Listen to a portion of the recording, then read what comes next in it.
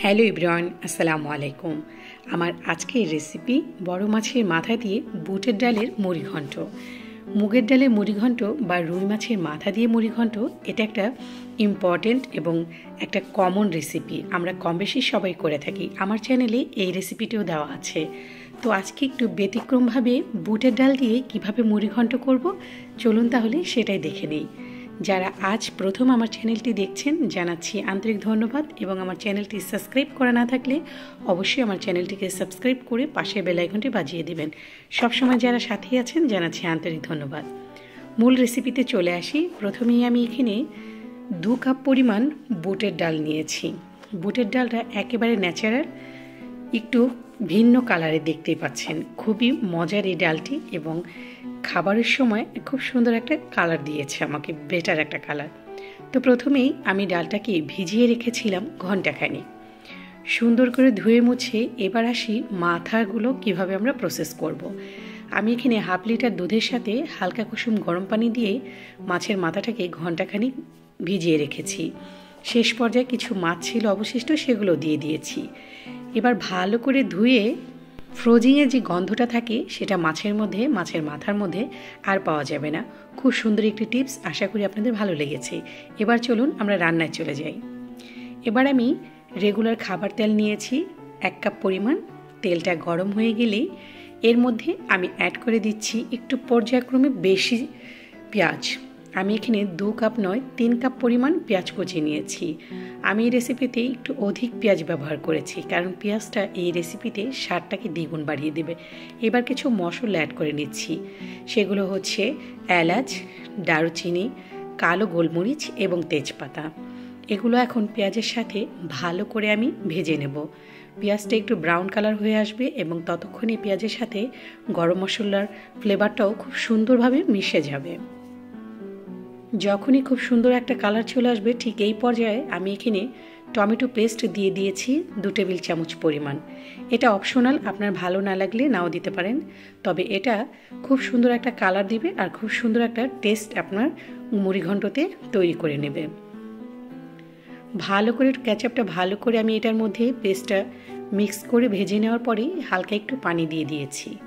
এরপরে এখানে অ্যাড করে দিচ্ছি এক চা চামচ আদা বাটা এবং এক চা চামচ রসুন বাটা। দিয়েছি এক চা চামচ জিরার গুঁড়ো, এক চা চামচ ধনিয়া গুঁড়ো, এক চা চামচ হলুদের গুঁড়ো এবং এক চা চামচ মরিচের গুঁড়ো। সাথে এক চা চামচ চিলি মরিচ দিয়েছি। দিয়েছি গরম মশলা হাফ চা চামচ। এবার সবগুলো মশলাকে ভালো করে মিক্স করে আমি এটাকে বুনিয়ে নেব তিন থেকে চার মিনিট। যতক্ষণ পর্যন্ত মশলাটা পারফেক্টভাবে কষে না আসবে। দেখতে পাচ্ছেন কালারটা চেঞ্জ হয়ে গেছে। এই পর্যায়ে আমি পর্যাপ্ত পরিমাণ লবণ দিয়ে দিয়েছি এবং খুব সুন্দর করে ভেজে নিয়েছি। মশলাটা দেখতেই পাচ্ছেন একেবারে কষানো হয়ে গেছে। তারপর আমি আরও ভালো করে কষিয়ে নিয়েছি। মুড়িঘণ্টতে বা যে কোনো তরকারিতেই আপনার স্বাদটা বাড়িয়ে দেবে কিন্তু মশলাটা যখন অধিক পরিমাণে সুন্দর করে কষিয়ে নেবেন। কষানো শেষে এবার ভিজিয়ে রাখা ডালগুলো আমি এখানে অ্যাড করে নিলাম। এবার ভালো করে ডালের সাথে মশলাটা মিশিয়ে এখানে আমি ভুনিয়ে নেব দশ থেকে পনেরো মিনিট। অনেকেই মুড়ে এই ডালটা হালকা একটু মানে গরম পানিতে ছেঁক দিয়ে নেন, যেটাকে বলে বয়েল করে নেন। আমি সেটা করিনি, আমি কষানোর মধ্যেই বুটের ডালটাকে নরম করব। এতে বুটের ডালের স্বাদটা দ্বিগুণ পরিমাণ বেড়ে যায়। দেখতে পাচ্ছেন মশলার সাথে বুটের ডালটা কিন্তু খুব সুন্দরভাবে কষানো হয়ে গেছে।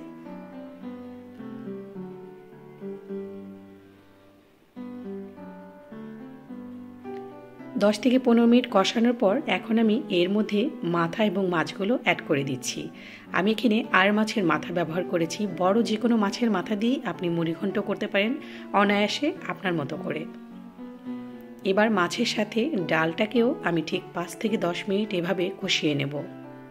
বুটের ডালটা একটু শক্ত বেশি, যেটা সিদ্ধ হতে একটু সময় লাগে, তাই অনেকেই সিদ্ধ করে নেন, আমি সেটা করিনি।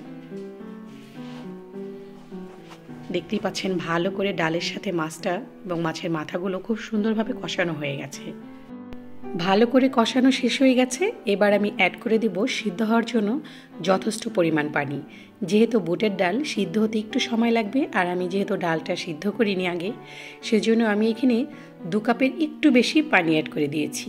এবার মিডিয়াম আছে খুব ভালো করে মিক্স করে ঢেকে দিয়ে আমি এটাকে রান্না করব আরও তিরিশ মিনিটের মতো। তবে ডিপেন্ড করে ডালটা কতক্ষণে সিদ্ধ হবে। ফিরে এলাম তিরিশ থেকে পঁয়ত্রিশ মিনিট পর আমি চলে এসেছি। মুড়ি ঘন্টটা আমার অনেক সময় লেগেছে, যেহেতু বুটের ডালটা সিদ্ধ করিনি, তবে মজা হয়েছিল অত্যাধিক। দেখতেই পাচ্ছেন, কালারটাও খুব সুন্দর এসেছে আর আমার খুব পছন্দ হয়েছিল। আশা করি আপনাদেরও ভালো লাগবে। যদি ভালো লেগে থাকে, তাহলে আমার চ্যানেলটি সাবস্ক্রাইব করা না থাকলে অবশ্যই করে আমার ভিডিওতে একটি লাইক দিয়ে পাশে থাকবেন। এতক্ষণ শেষ পর্যন্ত ধৈর্য সহকারে আমার রেসিপিটি দেখার জন্য জানাচ্ছি আন্তরিক ধন্যবাদ। সবাই ভালো থাকবেন, অনেক বেশি ভালো থাকবেন। আবারও দেখা হবে। আমি সালমা। আল্লাহ হাফিজ। আসসালামু আলাইকুম।